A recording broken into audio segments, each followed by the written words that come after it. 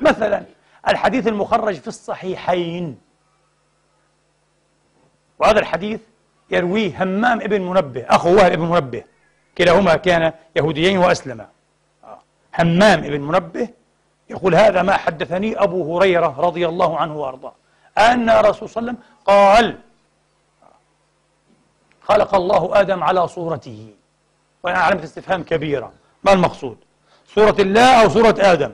نحن نرجع على صورته على صورة آدم يعني. يعني آدم لم يترقى ولم يتطور في الخلقة. آه. وإلا الشبهة قائمة بما أن همام ابن منبه وأصله يهودي أيها الإخوة أسلم الشبهة قائمة أنه إيه؟ يعني قد يحتمل أن يراد على صورة الرحمن لأن هذا مكتوب في التوراة. نخلق بشرا على صورتنا. انتبهوا. هذا حديث الصورة اسمه حديث الصورة أو حديث أبي مسعود الأنصاري أيضا.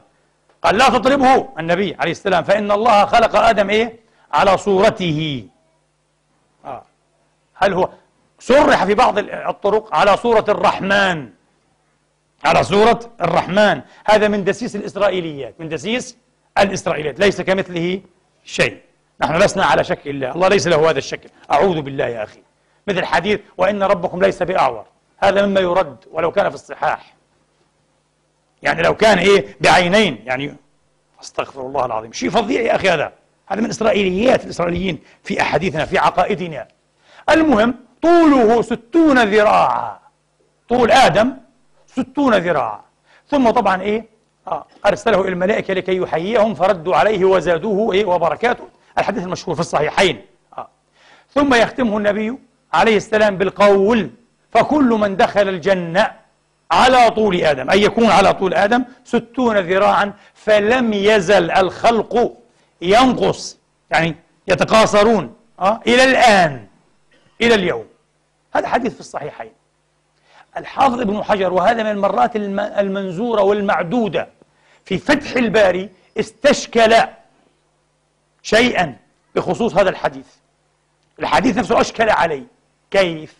قال هذا الحديث بظاهره يخالف يخالف ما عرف ورؤي من آثار الأقوام البائدة كمساكن ثمود. شوف ابن حجر عقلية علمية هنا. وأيام لا في علم جيولوجيا ولا في هذه الأشياء ولكن هكذا بعقل علم منهج علمي. قال مساكن ثمود موجودة وأبني لهم وأبني لهم في الحجر وغير كذا. طيب.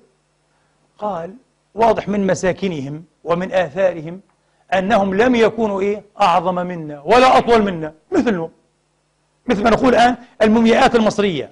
المومياءات المصرية. في طولنا وأحيانا أقصر قليلا منا. نفس الشيء نفس الطول البشري هذا.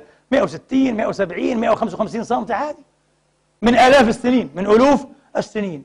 لا ابن حجر يقول من ثمود حتى. مساكن ثمود تؤكد أنهم كانوا إيه؟ في مثل قاماتنا. على أن يقول حافظ ابن حجر على أن المسافة بينهم وبين أبيهم آدم أدنى من المسافة التي بينهم وبيننا. فهمتم كيف؟ عقلية علمية. ثم قال الحافظ ابن حجر ولم يقع لي إلى الآن ما يزيل هذا الإشكال. خلص ومضى يقول الحديث فيه مشكلة. الحديث في الصحيحين بس فيه مشكلة. اسمعوا الآن كيف سأشكل على هذا الحديث من باب آخر بطريقة علمية. هذا الحديث لو سمعه أي عالم متمرس في علم الأحياء سيرده مباشرة. ويقول أنتم قوم تهرفون بما لا تعرفون. تعرفون لماذا؟ سأوضح هذا ربما ذكرته مرة آه. والآن سأبسطه تماما قانون في علم إيه؟ في علم الأحياء أيها الإخوة الزيادة في وزن الجسم الحي المخلوق الحي المتعضل الأورجانيزم تتناسب طرديا مع مكعب ليس مربع المكعب مثلث مع مكعب الزيادة في أبعاده الخطية طبعا الأبعاد الخطية يتحصل منها ماذا؟ الحجم معروف حجم في الفراغ. ما تحتله إيه البنية إيه؟ في الفراغ. ولكن الزيادة التي يكتسبها الجسم الهيكل بالذات العظمي الهيكل العظمي مقطع العظم التي يكتسبها الهيكل العظمي لمقاومة الثقل والوزن تتناسب مع الزيادة أو مع مربع الزيادة. مع مربع وليس مكعب. احفظ هذا القانون. قانون علمي صارم. مع مربع الزيادة في أبعاده الخطية.